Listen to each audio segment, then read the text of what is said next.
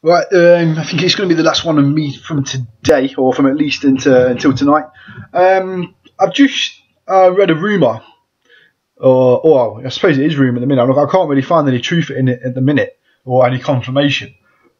But Arthur Abraham's meant to be fighting, or meant to be in order to be fighting Stieglitz for a fourth time. Why? Why?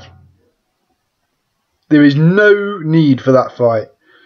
You know, the whole little trilogy was ended nicely. You know, now it just seems like they're going to bore it on. First, I mean, let's look at this fight a little bit more cleanly, right? The first fight between Arthur Abraham and Stieglitz, I actually thought Stieglitz got a little bit screwed. I thought Stieglitz won that first fight, and so did quite a few other people. Um, hence the reason why Abraham, when Abraham got the decision, uh, a rematch was of course put in place. Um, it wasn't an immediate rematch, but a rematch was put in place. Now, in that rematch, Stieglitz obviously, I think, did he cut off Abraham? Stopped him by default, really. But Stieglitz, you know, it was a great performance from Stieglitz in that second fight. Only lasted four rounds. Uh, and, you know, the way he got the victory kind of kind of karma for the first fight, if you like, when Arthur Abraham, I thought, really stole it. Uh, the third fight, I thought, was quite conclusive. Um, I thought Arthur Abraham even though the judges' scorecards bizarrely had it a bit closer. Um, I thought Arthur Abraham clearly won the third fight, to be honest. Uh, it was probably the best performance that he put in during the whole three of the fights in that third fight. So why do we need a fourth fight? You know, it's just pointless. Why fight Stieglitz again? Why? And the only reason I can think of why is because there's a chap called Gilberto Ramirez who's an untested um, treasure at super middleweight, as it were, who a lot of people, including myself, think is going to be a really good fighter and he's going to be in some serious contention of a world title towards the late late end of this year or going into next year. And he's the type of fighter that can cause problems, big problems, to anyone uh, super middleweight, I believe, at the minute, because obviously we don't know yet. He's untried and untested, of course, and you can only go on what you see in of a fighter.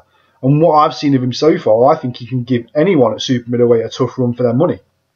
Um, but someone like Arthur Abraham, I think he'd probably enjoy it. You know, he, I think he, someone like Gilberto Ramirez could go out to Germany and just completely make Abraham look stupid for 12 rounds, to be honest. I think he'd have too much speed, you know, height, keep the distance.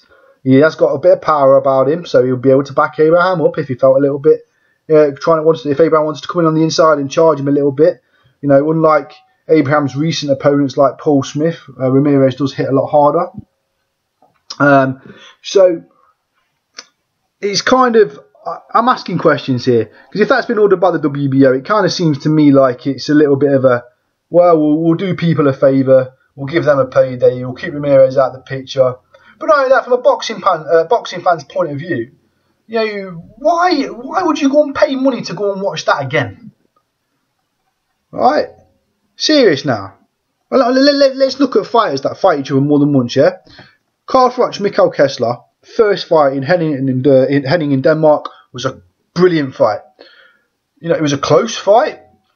Personally, I feel that the right decision was made on the night of giving Kessler the decision. I think he deserved it and I think he deserved his victory. Um, just vice versa, you know, when Carl Froch and Kessler fought in London in the rematch, I thought Froch deserved that one. Okay, so, but at that point then, people are saying, oh, you know, rubber match might be good. But the interest in general, even though there's some fans asking for the rubber match, the interest in general has now gone down there. Because Froch is being convincingly, the revenge is taking place. There's no calls for a third fight, really. Okay?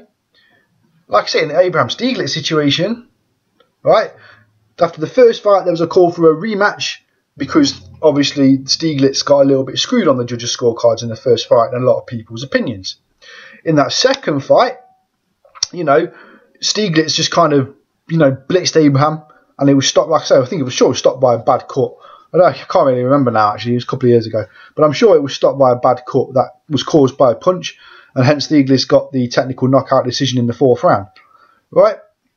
So after that, there was another call for a rematch because it was one apiece. The rubber match was in place. It was still competitive, right? The the fight wasn't a convincing knockout stoppage of Arthur Abraham by any means, you know. So I think the third fight did make sense, and the third the third fight took place. The third fight, Stieglitz got knocked down in the 12th round, I believe, and it was a convincing, in my opinion, a convincing performance from Arthur Abraham, and a convincing way to end the trilogy with Abraham winning the trilogy 2-1, even though many would argue he shouldn't have won um, the first fight anyway. But what I'm saying is now is that third fight was a conclusive ending. Why do we need a fourth? Okay, I think even fans in Germany who are massive Arthur Abraham fans, and of course Stieglitz has a fan base in Germany, of course. Okay, I think even both sets of fans are going to be looking at and scratching hand, uh, scratching heads and saying, "Well, am I really going to pay to go and watch this for a fourth time?" If this is true, like I say, I can't really find 100% confirmation that this fight is happening yet. But if this is true, it's a joke from the WBO. I don't want to see crap decisions happening like this. You know, make someone mandatory who Abraham has not fought before. Make someone mandatory who has been fighting to earn that mandatory position, not somebody who has already held that title and tried to regain it back or regained it. No, give it to someone fresh. You know, Paul Smith was a voluntary Arthur Abraham. Okay, in that second fight. That was a voluntary. Arthur Abraham is due a mandatory now, right? Because he's not going to fight a unification fight, let's be honest. He doesn't want nothing to do with Andre Ward again. He doesn't want anything to do with Carl Froch again, right? And he's he's not going to get a shot at someone like James DeGale or Andre Dirrell, the winner of that fight, of course, or an Anthony Dirrell in the near future. I don't think he would want them. Because well, obviously he wouldn't want Andre Dirrell again anyway, because the first fight, Andre Dirrell actually knocked Abraham down before Abraham decided to do Andre Dirrell on the deck, um, and which caused obviously Andre Dirrell um, some injury problems and uh, head problems. So I don't want this fight to happen. I think it's a disgrace if the WBO are ordering it. Though, to be honest with you, I think Abraham should just retire in a couple of years anyway. He's getting shot porn. He's not the most entertaining of fighters. I want to see, I want to see the super middleweight really take to light in the next couple of years you know, the old guard stepping down. Carl Froch, uh, I have no doubt, has only got one or two fights left in him. Uh, and that'll be a passing of the guard for the British fighters, uh, or the passing of the torch, if you like, which I'm sure James DeGale will take that torch with pride. Uh, I can't really see George Groves being the next torch holder for Britain. Um, and then going from there, it's going to be an exciting division full of young, hungry super middleweights, with the exception of Andre Ward, who was just King B at the minute and can't get a fight for whatever reason. Or I did a video on that the other day, and my decision uh, and my opinion still stands that Andre Ward should fight Triple G next because it's the fight that makes the most sense for both fighters.